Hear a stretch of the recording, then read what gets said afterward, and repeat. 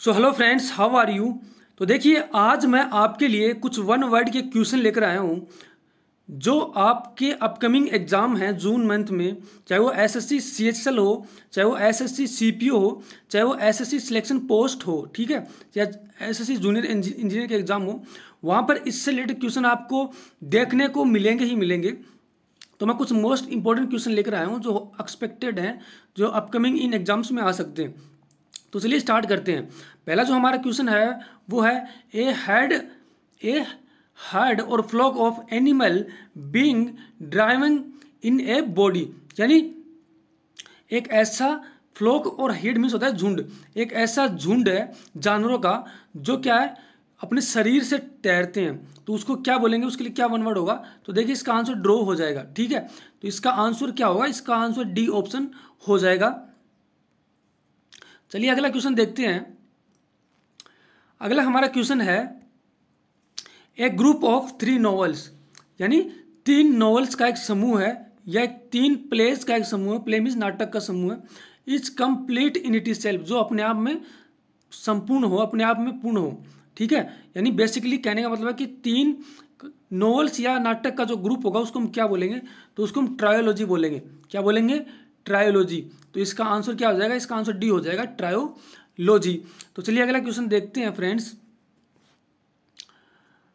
अगला हमारा क्वेश्चन है, a self governing country or region, ठीक है?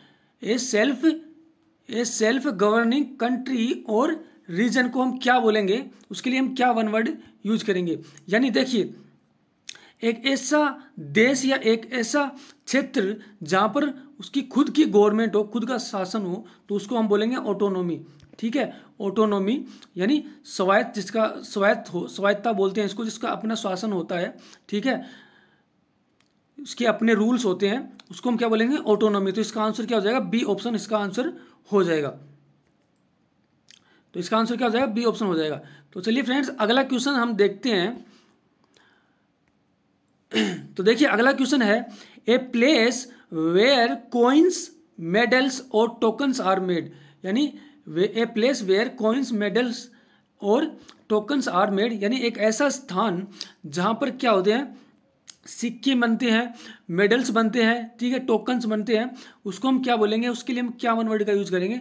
तो देखिए, उसको हम बोलेंगे तो उसके लिए जो वन वर्ड होगा, वो होगा मिंट ठीक है? इसका आंसर क्या हो जाएगा? सी ऑप्शन इसका आंसर हो जाएगा। यानी मिंट मिंट यानी टक्साल है। टक्साल बोलते हैं मिंट को। यानी टक्साल के अंदर क्या होता है? मिंट के अंदर क्या होता है? कोइंस मेडल्स और टोकन्स का क्या बनते हैं वहाँ पर। तो चलिए फ्रेंड्स अगला क्वेश्चन देखते हैं।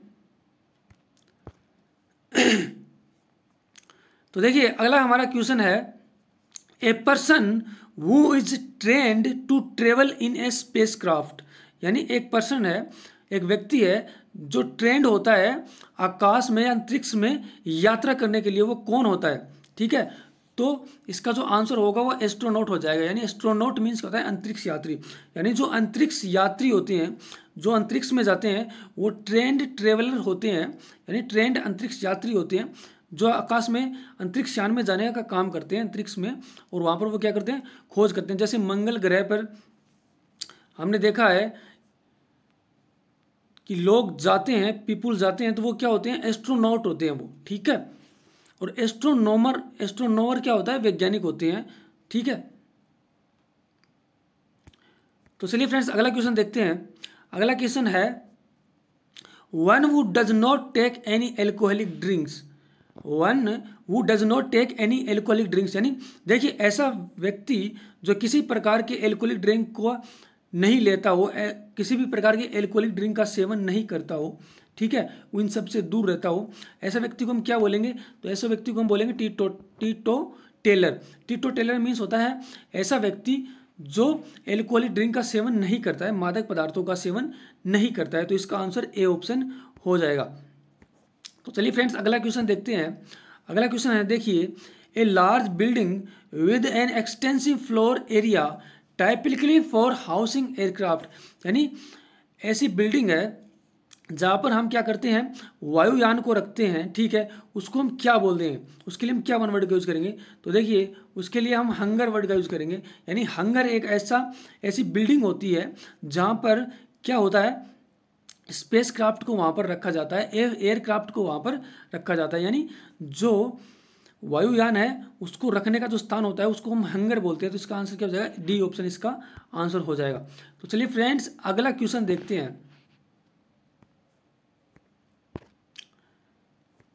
देखिए a person who listen to someone's private conversation without them knowing यानी एक ऐसा व्यक्ति जो दूसरों की वार्तालाप को छुपकर सुनता है, उनकी बिना जानकारी के, ठीक है? तो उस व्यक्ति के लिए हम क्या वन वर्ड का यूज़ करेंगे? उसको हम इसके लिए क्या वन वर्ड का हम यूज़ करेंगे? तो देखिए इवेस ड्रॉपर हम बोलेंगे। इवेस ड्रॉपर मीन्स होता है किसी की बात को चुपचाप सुनना बिना उसकी जानकारी के। तो इसका आंसर क्या हो जाएगा? ए ऑप्शन इसका आंसर हो जाएगा। तो चलिए फ्रेंड्स अगला क्वेश्चन देखते हैं। अगला जो हमारा क्वेश्चन है, वो है a large bedroom for a number of people in a school or institution यानी यानी स्कूल और इंस्टीट्यूशन में देखिए हम देखते हैं कि एक बहुत बड़ा कमरा होता है, ठीक है? जहाँ पर काफ़ी बेड लगे होते हैं, वहाँ पर काफ़ी स्टूडेंट वहाँ पर रहते हैं पच्चीस तीस स्टूडेंट उस रूम के अंदर रहते हैं तो उसको हम क्या बोलेंगे? उसको हम डोरमेट्री बोलेंगे, ठीक है? तो इसका आंसर क्या हो जाएगा? इसका आंसर डी ऑप्शन हो जाएगा।